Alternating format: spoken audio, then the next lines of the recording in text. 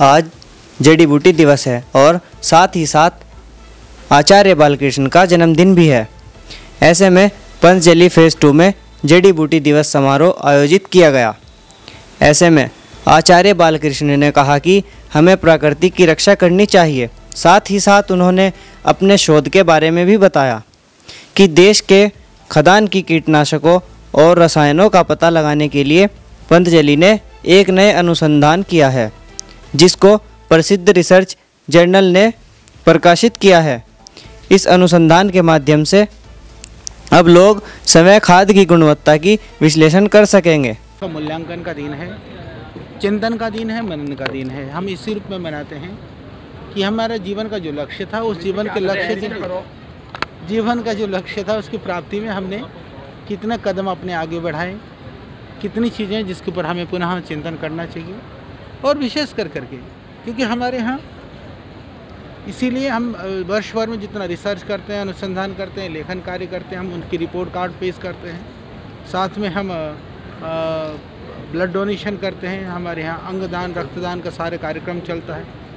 वृक्षारोपण का बड़ा कार्यक्रम चलता है पूरे देश के अंदर। हमारे से जुड़े हुए जो लाखों भाई बहन कार्यकर्ता हैं, वो तो वृक्षारोपण करते हैं, वनस्पतियों को लगाते हैं। तो इसी तरह से सबको अपना जन्मदिन मनाना चाहिए।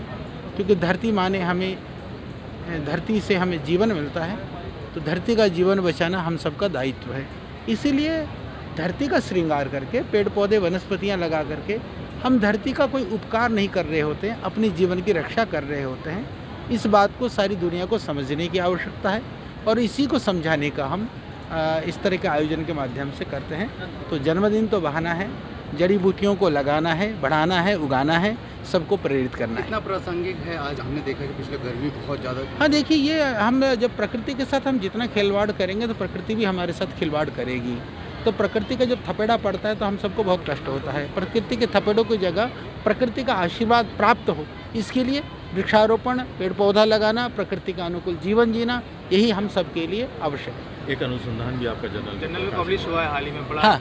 हमारा अभी हम लोगों ने एक जो मिलावटी खाद्य वगैरह को लेकर के बड़ा एक बवेला मचा रहता है उसको कैसे डिटेक्ट करें मिलावटी है कि नहीं है उसके लिए बहुत ही सिंपल प्रोसेस के ऊपर हम लोगों ने काफ़ी रिसर्च किया था उसको इंटरनेशनली एक्सेप्ट किया गया है और अभी उसके ऊपर जो अ, अ, उसको जो इक्विपमेंट्स जो बनाना है वो काम भी बहुत तेज़ी की तरफ़ है बहुत जल्दी ही हम संपूर्ण देशवासियों के सामने उसको प्रस्तुत करेंगे। कब तक मान लें कि ये इम्प्रूवमेंट हम लोग दो तीन महीने के अंदर अंदर क्योंकि काफ़ी काम फाइनल स्टेज पर है लास्ट ट्रायल के लेवल पर चल रहा है वो बहुत जल्दी आ जाएगा। फ़ायदा टेस्टिंग लैब है जिनका बड़ा अभाव है तो उसके बाद बड़ा हाँ ये फुल टेस्टिंग लैब के लिए भी नहीं ये इंडिविजुअल लेवल पर यदि अपने घर में किचन में भी जैसे हम लोगों ने इसमें शहद दूध आ, तेल घी इस तरह के पदार्थों का भी एक स्ट्रिप से आप मैक्सिमम जो अडल्टेशन है उसको मैपिंग कर सकेंगे। तो सब्ज़ियाँ हैं दालें हैं अन्न है उन सब का ये एक क्रांतिकारी काम है।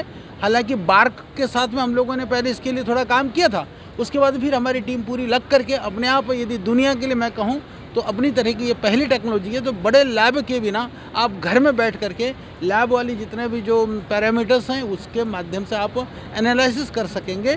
आ, कि ये खाद्य खाने योग्य है या नहीं है? ये पतंजलि ये- अनुसंधान केंद्र में विकसित जी हाँ। ये इक्विपमेंट इतना सस्ता होगा कि लोग घर में रख बिल्कुल बिल्कुल घर में रख सकेंगे और उसमें से हम दो लेवल पर ला रहे हैं। एक लेवल पर तो जो स्ट्रिप है जैसे आप ब्लड शुगर मैपते हैं ना ऐसे ही आप उसके अन्न का एक बूंद को एक पीस करके थोड़े से चुटकी भर उसमें डाल करके आपको वो रिपोर्ट आ जाएगा। हम इस लेवल पर प्रयास कर रहे हैं।